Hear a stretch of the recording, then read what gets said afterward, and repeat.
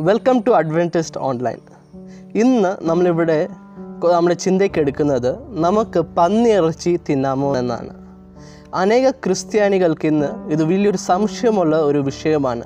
പലവരുടെ അടുത്തും ചോദിച്ചാലും വിവിധമായ അഭിപ്രായങ്ങൾ കിട്ടും. ചിലവർ കഴിക്കാമെന്ന് പറയും ചിലർ കഴിക്കാൻ പാടില്ല എന്നും നമുക്ക് പറയുന്നത് കേൾക്കാം. നമുക്കിന്ന് തിരുവചനം നമ്മൾ എന്താണ് പറയുന്നത് നമുക്ക് നോക്കാം. നമ്മൾ തിരുവചനം പഠിക്കാൻ നേരത്ത് എല്ലാവർക്കും അറിയാവുന്ന ഒരു കാര്യമുണ്ട്. നമ്മൾ ലേവിയ പതിനൊന്നും ആവർത്തന പുസ്തകം പതിനാലും പഠിക്കാൻ നേരത്ത് അവിടെ ഒരു ക്രിസ്ത്യാനിക്ക് എന്ത് കഴിക്കാം എന്ത് കഴിക്കാൻ പാടില്ല എന്നുള്ള വ്യക്- വ്യക്തമായ ഉപദേശം ദൈവം തിരുവചനത്തിലൂടെ നമുക്ക് ഏവർക്കും നൽകിയിട്ടുണ്ട്. നമ്മൾ ആവർത്തനം ഒക്കെ വായിക്കാൻ നേരത്തും നമുക്ക് അതിനെക്കുറിച്ച് കൂടുതൽ മൃഗങ്ങളും പക്ഷികളും എല്ലാത്തെക്കുറിച്ചും എഴുതിയിട്ടുണ്ട്. നമ്മൾ ലേവ്യ പതിനൊന്നിന്റെ മൂന്ന് വായിക്കാൻ നേരത്ത് പ്രത്യേകിച്ച് നമുക്ക് കഴിക്കാൻ പറ്റുന്ന ഏതൊക്കെ മൃഗങ്ങളാണെന്ന് എഴുതിയിട്ടുണ്ട്. അവിടെ പ്രത്യേകിച്ച് മൃഗങ്ങളെക്കുറിച്ച് പറഞ്ഞതെന്ന് പറഞ്ഞാൽ കുളമ്പുള്ളതും അഴവിറക്കുന്നതും ആയ മൃഗങ്ങളെ വേണം നമുക്ക് കഴിക്കാൻ.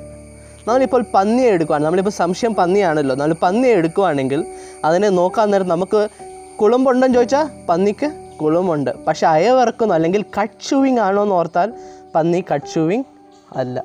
അപ്പോൾ ഈ ഒരു ഉപദേശം വെച്ച് നോക്കാൻ നേരം നമുക്ക് പന്നിയെ തിന്നാവോ? തിന്നാൻ പാടില്ല എന്ന് നമുക്ക് കാണാൻ സാധിക്കുന്നു. അതുമാത്രമല്ല നമ്മൾ ഇപ്പം പറയുന്നത് യഹൂദന്മാർക്കുള്ളതാണല്ലോ? അല്ലെങ്കിൽ ദൈവം ഇസ്രായേൽ മക്കൾ നൽകിയതാണല്ലോ? ഇതിനു മുമ്പൊന്നും ഇല്ലായിരുന്നല്ലോ എന്ന് പറയാൻ നേരത്ത് തീർച്ചയായിട്ടുമുണ്ട് നമ്മൾ ഉൽപ്പത്തി ഏഴി പോകാൻ നേരത്ത് നോവയുടെ കാലഘട്ടം നമുക്ക് കാണാൻ സാധിക്കുന്നു.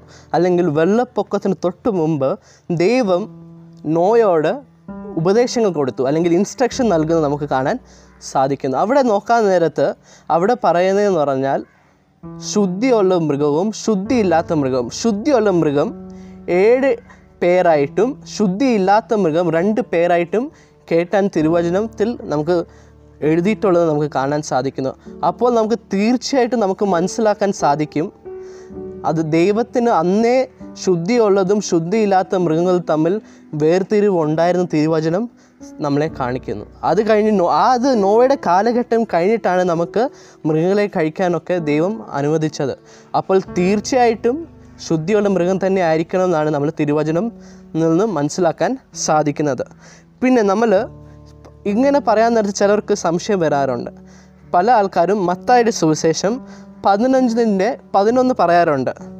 അത് ഫാസ്റ്റർ ഇവിടെ എഴുതിയിട്ടുണ്ടല്ലോ നമ്മൾ കഴിക്കുന്നതല്ല വായിൽ നിന്ന് വരുന്നതല്ലേ അശുദ്ധിയുള്ളതെന്ന് പക്ഷേ ഇത് നമ്മൾ അതിന്റെ യഥാർത്ഥമായ അർത്ഥവും ആ മൊത്തം പാ പാഠത്തിന്റെ അർത്ഥം മനസ്സിലാക്കാതെയാണ് നമ്മളത് പറയുന്നത്. അവിടെ എന്താണ് പറയുന്നത് നമ്മൾ നോക്കാൻ നേരത്ത് അതിന്റെ കഥ മനസ്സിലാക്കാൻ നേരത്ത് നമ്മൾ മനസ്സിലാക്കുന്ന യഹൂദന്മാർ വന്ന് പറഞ്ഞു ശിഷ്യന്മാർ കഴി കഴിവാതെ ആഹാരം ഭക്ഷിക്കുന്നു.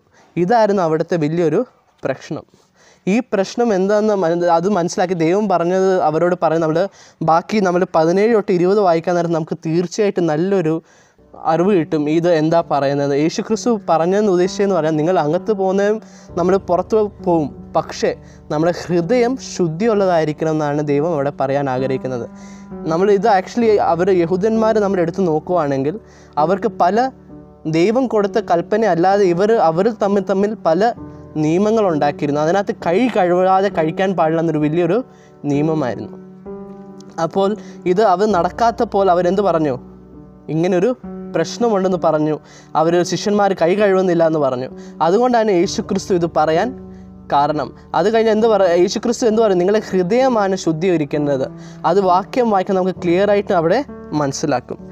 പിന്നെ ആൾക്കാർ പറയുന്ന ഒരു വേറൊരു വാക്യമുണ്ട്. അതാണ് നമ്മുടെ അപ്പോസ്റ്റർ പ്രവൃത്തികൾ പത്താം അധ്യായം നമ്മൾ നോക്കാൻ നേരത്ത് അവിടെ നമുക്കത് അതിനെക്കുറിച്ച് നമുക്ക് മനസ്സിലാക്കാൻ സാധിക്കുന്നു.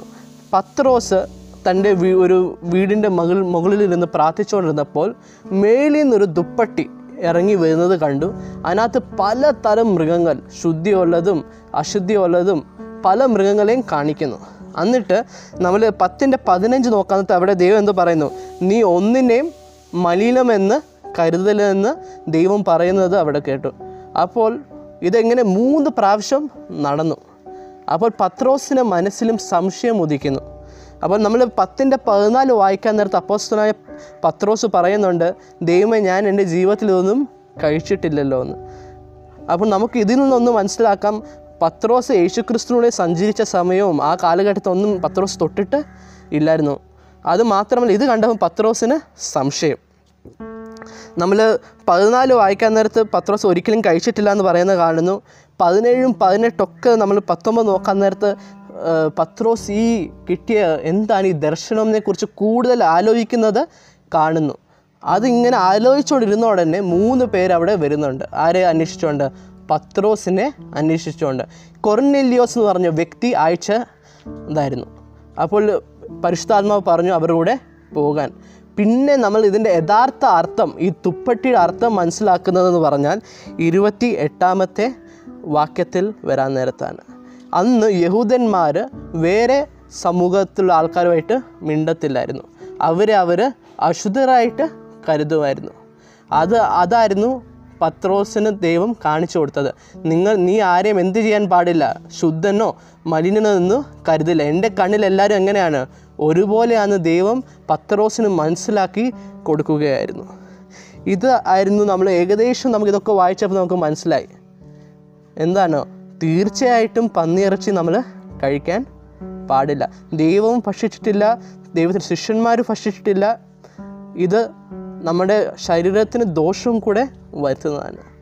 നമ്മൾ തിരുവചനം പറയുന്നുണ്ട് നമ്മുടെ ശരീരം എങ്ങനെയുള്ളതാണ്? ദൈവത്തിന്റെ മന്ദിരമാണെന്ന്. അതുകൊണ്ട് ഞാൻ നിങ്ങളെ ഇന്ന് ഓർപ്പിക്കാൻ ആഗ്രഹിക്കുന്ന ഒന്ന് കൊരിന്തിയർ പത്തിന്റെ മുപ്പത്തൊന്ന് വായിക്കാൻ നേരത്തെ ഇവിടെ എഴുതിയിട്ടുണ്ട്. നമ്മൾ എന്ത് തിന്നാലും എന്ത് കുടിച്ചാലും എന്ത് ചെയ്യണം? ദൈവത്തിന് മഹത്വം കൊടുക്കുന്നതായിരിക്കണം.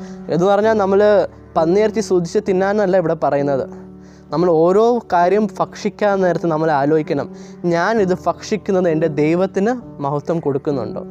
ഈ ഒരു ചിന്ത ദൈവം ഇന്ന് നിങ്ങളെ അനുഗ്രഹിക്കട്ടെ ഈ ചിന്തയാൽ. യേശ്യാവിന്റെ പുസ്തകം അറുപത്താറാം അധ്യായം പതിനേഴാം വാക്യം. തോട്ടങ്ങളിൽ പോകേണ്ടതിന് നടുവിനെ അനുകരിച്ച് തങ്ങളെ തന്നെ ശുദ്ധീകരിച്ച് വെടുപ്പാക്കുകയും പന്നിയിറച്ചി അറപ്പ് ചുണ്ടിലി എന്നിവയെ തിന്നുകയും ചെയ്യുന്നവർ ഒരുപോലെ മുടിഞ്ഞു പോകും എന്ന് യഹോവയുടെ അരുളപ്പാട്. ഈ ഒരു വിഷയത്തെക്കുറിച്ച് അറിയാത്ത അനേകർ ഉണ്ടായിരിക്കും. അഥവാ നിങ്ങൾക്ക് ഈ വിഷയത്തെക്കുറിച്ച് ബാക്കിയുള്ള അറിയിക്കാൻ ആഗ്രഹമുണ്ടെങ്കിൽ ദയവായി ഈ വീഡിയോ ഷെയർ ചെയ്യുക. നമുക്ക് ഇനിയും നിങ്ങൾ അധികം സപ്പോർട്ട് ആവശ്യമുണ്ട്. അതുകൊണ്ട് നമ്മുടെ വീഡിയോ ലൈക്ക് ചെയ്യുക നമ്മുടെ ചാനൽ സബ്സ്ക്രൈബ് ചെയ്യുക. ദൈവം നിങ്ങളെ അനുഗ്രഹിക്കട്ടെ.